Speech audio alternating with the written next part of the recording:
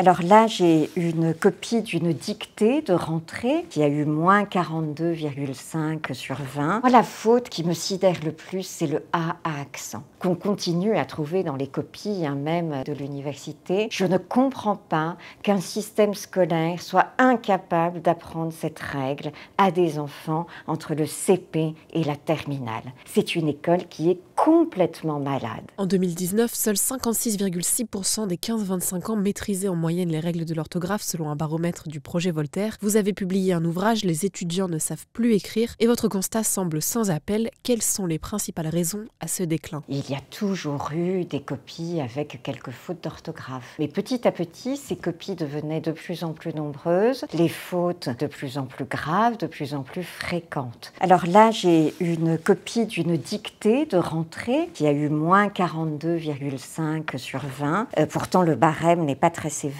On voit notamment que la règle A à accent n'est pas du tout maîtrisée. Il y a beaucoup d'autres erreurs. Par exemple, le mot anciennement a été écrit EN, locateur au lieu de locataire, sachant que le mot locataire a été utilisé à de multiples reprises en cours. Il y a de multiples causes à cette baisse du niveau. Il y a moins d'heures de cours, il y a moins d'heures consacrées aux fondamentaux, les professeurs ne sont pas suffisamment bien rémunérés, ils sont également mal formés, les écrans, la numérisation de l'école, tous ces facteurs expliquent une baisse vertigineuse du niveau. Selon vous, le principal coupable serait la photocopieuse. Pouvez-vous nous expliquer comment celle-ci a tué le niveau des élèves Un handicap certain, c'est l'utilisation massive de ces photocopies et de ces fiches, hein, puisque des difficultés qui pourraient être résolues par une écriture régulière, rigoureuse,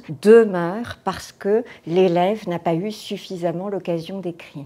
Lorsque l'enfant travaille sur une photocopie, la page est déjà pré-remplie. L'enfant va écrire beaucoup moins de mots qu'il n'en écrirait s'il s'agissait d'un exercice classique. Par exemple, il va devoir compléter le verbe pour conjuguer le verbe. Et l'enfant va écrire que le verbe. Donc, on ne l'entraîne pas à écrire une phrase complète. Même le sujet, il ne doit pas l'écrire et donc il ne fait pas le lien entre le sujet et le verbe qu'il est en train de copier. C'est très agréable pour les enseignants parce que c'est facile à corriger, c'est rapide. C'était une solution de facilité et de propreté. On a des enseignants qui souhaiteraient ne pas donner de photocopie, mais qui sont obligés parce que les élèves écrivent très lentement. Si on veut réussir à terminer le programme, on est pratiquement obligé de distribuer des photocopies. Donc ici, hein, euh, chaque mot entouré euh, correspond à une faute. Il faut savoir aussi que Beaucoup d'étudiants ont du mal à écrire l'intégralité de la dictée, ce qui n'était pas le cas, ceux qui écrit CEX. La ponctuation qui n'est pas maîtrisée, on dicte un point, il n'est pas indiqué. Euh, bien que la chose ait été enfouie, donc là on a le subjonctif du verbe avoir qui est transformé en EEST, euh, le A à accent, euh, le participe passé qui n'est pas accordé. Les époux ont considéré, ont considéré à la terminaison EST. Donc on voit que tout est mélangé. Ces étudiants ont eu leur bac et j'ai sélectionné des copies qui ne venaient pas d'étudiants avec des profils un petit peu avec des scolarités atypiques. Ce sont des étudiants qui ont fait toute leur scolarité en France. Que cet article au féminin, ils ont beaucoup de difficultés euh, féminin-masculin, n'est applicable qu'en cas de vol ou perte. Donc quand Q-A-N-D au lieu de Q-U apostrophe E-N. Ces étudiants, ils sont handicapés dans leurs apprentissages. Ils peinent à mémoriser, ils peinent à comprendre parfois parce qu'ils n'ont pas le vocabulaire nécessaire. Et puis, ils vont peiner à écrire, à la fois euh, du point de vue moteur.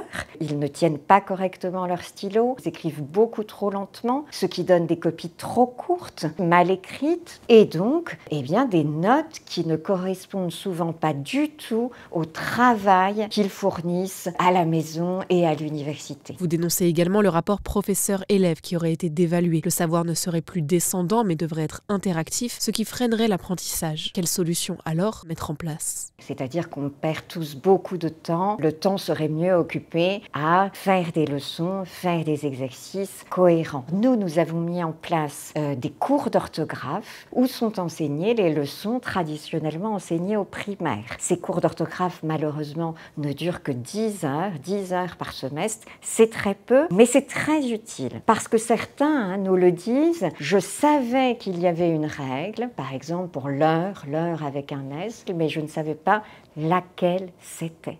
Et puis enfin, euh, ce qui est indispensable, c'est la lecture. Il faut que ces étudiants lisent énormément euh, de vrais livres pour enrichir leur vocabulaire, s'accoutumer à des structures de phrases euh, un tout petit peu élaborées. Mais il y a un coupable, c'est le ministère de l'Éducation nationale et surtout les hauts cadres du ministère qui restent là en dépit des multiples changements de ministres. Et ce sont eux qui bloquent absolument toute réforme intelligente. Il s'acharne sur les mêmes programmes incohérents. Il oblige professeurs des écoles à utiliser les mêmes méthodes dont on sait pertinemment qu'elles ne fonctionnent pas. Ah mais c'est très inquiétant.